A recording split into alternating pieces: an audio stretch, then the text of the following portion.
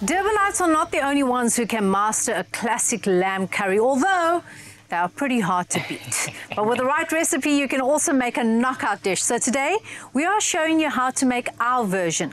And rumor has it that adding that extra bit of oil and spices is what takes the lamb curry from good to great. So we've got our spices, olive pride olive oil, and Chef Jay on standby. Yeah, I am Z, and uh, firstly, welcome Dr. Rethabile. It is an honor to have you in the kitchen.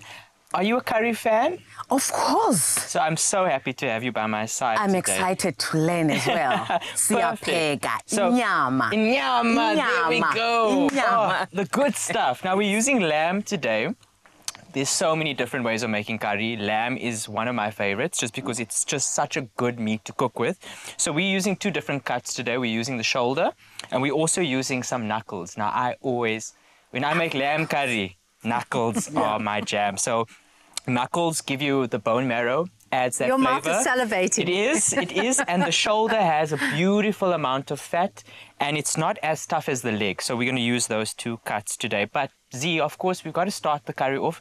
What is the one way to start the curry off with some oil? Yes, And absolutely. oil is literally the soul of a curry because it, it, it sort of brings all those ingredients together. It coats everything in the pot. And we're using the Clover Olive Pride blend Love that. today.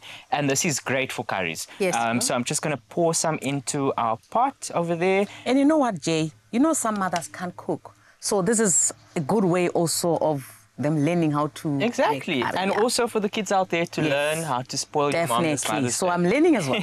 Amazing. So we've already browned our meat off in the pan, and that's why you, you see that color coloring at the bottom. Real caramelization on your meat Yes. first is always a good way to start.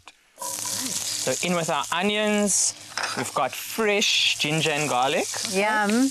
and then we've got some fresh curry leaves. If you can find these, amazing. If not, you can get dried curry, curry leaves. You could use some bay leaves as well. Cinnamon stick.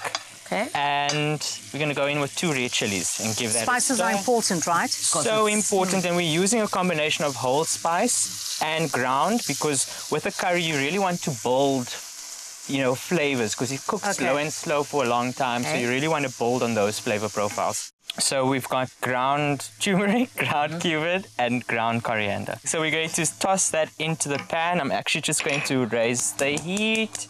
And you can already smell how aromatic and Yeah. fragrant it is. And those spices, the combination of them with the chili, with the cinnamon, really give that warming feel when you eat. And Yes. I'm- quantity, Jay.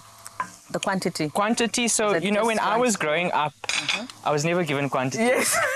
Leopold cheese, Yes. or you know, so it really just depends How on tastes. how you prefer it. Yeah. Right. So we're going to go in now with some tin tomatoes. Okay. I generally like to use fresh tomato that I grate. Okay. That's just how my my grand mother did it, or your That's granny, You know? yeah. Um, and then toss that into the spice, and then we're just going to use a little bit of water just to bring that together. And then the last step is just to add your meat. And I can't wait to get these knuckles because just to sit, I can see it's Just to juicy sit. already. Just to sit and suck that bone marrow Yeah. out, one of my favorite Jay, parts. you look super excited, but I think maybe the maybe doctor needs to taste something. I think so. We've got a generous amount. So, doctor, are you going to give this a taste for us? Z, would, if you wouldn't Yes. mind, just handing one of those These are over. so beautifully displayed. And this is. There you go. There you go. There's your lamb curry and a fork. Hmm. And we've got some naan bread that we've made by hand on the side. Some nice basmati rice. A Nice sambal. And Yes. we've actually um, fried some of these curry leaves as a garnish. Oh, lovely, lovely. Nice on top. Nice, This is Hmm. lovely. Enjoying it. Yummy. Not too spicy. Not too spicy. I think I would have added more spice Okay. because I love spice. Well, that's the fun thing about Yes. a curry is that you can make it your own, and I hope that you're going to make it your own this Mother's Day. Mm-hmm. Of course. of course, it's my dish for Mother's Day. Amazing.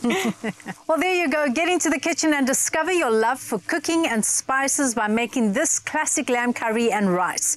To get the full recipe, go to afternoonexpress.co.za. Experience the new face of Clover Olive Pride Oils, your same trusted choice for premium olive oil. Same great formulation, fresh new look.